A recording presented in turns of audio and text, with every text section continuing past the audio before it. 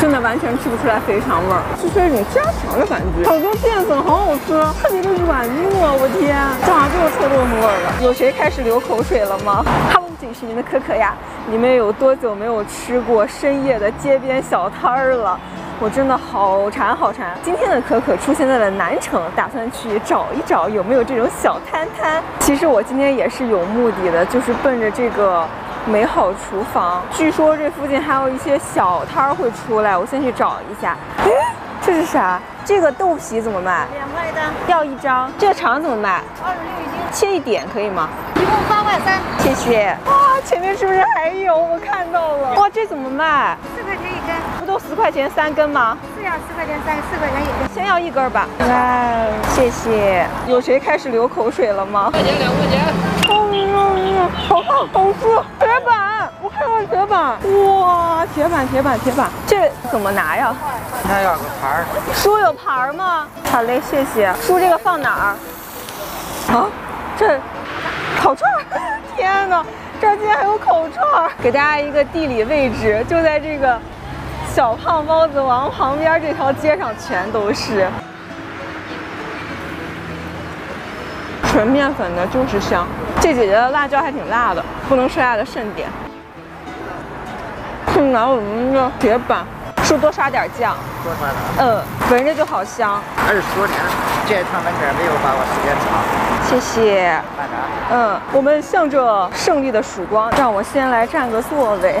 最后这家我来了，哇哦，老板我也想要这个，等一下，等一下，一个来啊！还想吃那个，对，谢谢。还有别的吗？两根这个，还有啥好吃的？牛胸口爆汁肉肠，要一个牛胸口，再要一个面筋，够了。哦，我的天哪，我终于是混上脏摊儿的人了，谢谢。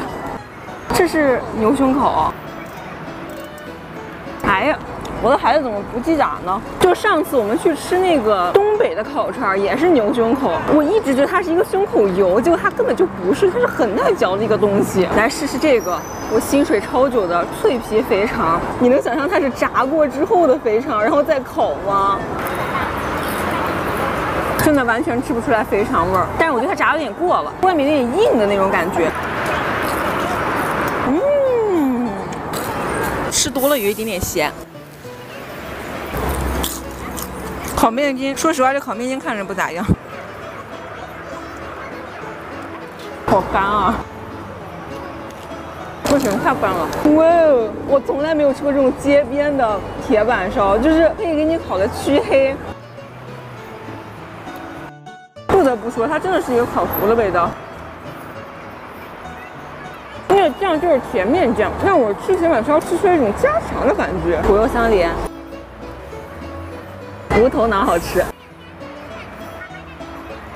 鱿鱼串，这鱿鱼我刚入嘴就觉得味儿还可以，还不错，还不错。哎呦我的妈呀，我牙没了。烤糊的蔬菜有点拉垮，这是什么？这好像是小鸽子，我还能吃到里面骨头，这是什么？我不敢吃了。哦，这一坨豆皮和宽粉，谁发明的铁板宽粉啊？这宽粉不太行，太难嚼了。我是看上一个大哥说要多刷酱，我也说了多刷酱，但是这个酱真的好咸啊！鸡皮，嗯，鸡皮好吃，特别的软糯。嗯，好吃好吃。尝尝大姐卤的肠，本来不想让她切的。这个是蒜肠，好多淀粉，好好吃。看豆腐皮，把它保留一下，可能要回家了。这俩是回不了家的，这也得吃啊！我天，小时候那种甜甜烤肠的味儿。我决定先来一口它们了。我本来以为是天津很浓稠的麻酱凉粉，但是现在看起来似乎不太像。好吃，特别的软糯，我天。不是那种软 Q，是软糯，而且里面有比较明显的醋，不是蒜汁儿，还有这个香菜，很鲜，就是有点辣。哦，哦，我要了两勺麻酱，对我来说刚刚好，家乡菜版本。嗯，还有素黄豆，更好吃，但就好贵啊，这个好像十五块钱，好辣呀！果然大家都很喜欢卖淀粉，这个也是淀粉味儿的。这叫什么？鸡汁豆腐。不说我都以为是煮小酥肉了。里面有若干根小酥肉，哎，酸菜，还有什么？哦，就这种豆腐串儿。兰花干儿哦，还有豆泡，感觉应该会很好吃啊！它还有这种大的，还有黄豆芽，小火开。这口味好奇妙哦！兰花干是属于那种很有嚼头的啊！这还有炸的鹌鹑蛋，炸鹌鹑蛋 Y Y D S。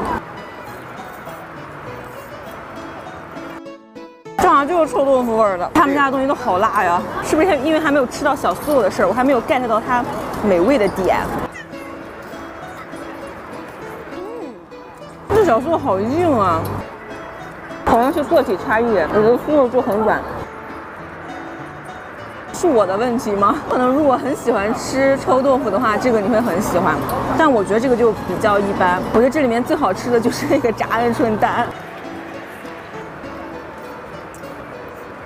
而且我觉得这个有点油，嗯，还是这个好吃。麻酱脑袋一定要冲这个，然后跟他要两勺麻酱。